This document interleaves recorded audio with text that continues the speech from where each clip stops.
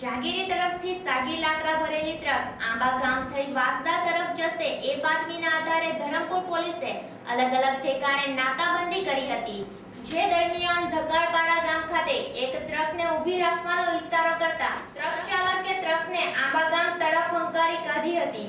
જ્યાં આંબા ગામના સામેથી આવતી પોલીસ વેનને જોતા ટ્રક ચાલકે ટ્રક અટકાવી બાજુની ગાડીમાં પલાયન થઈ ગયો હતો. બાદમાં ટ્રકની તપાસ કરતા ટ્રક નંબર MH18Z1970 હોવાનું જાણવા મળ્યું હતું.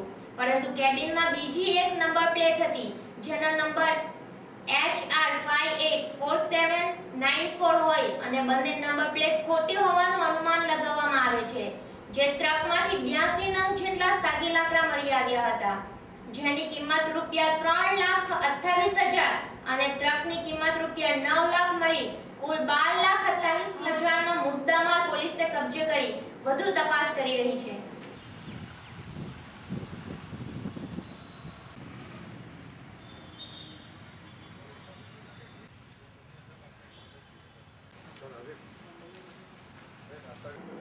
સમાચારોની રફતાર ચાલતી જ રહેશે.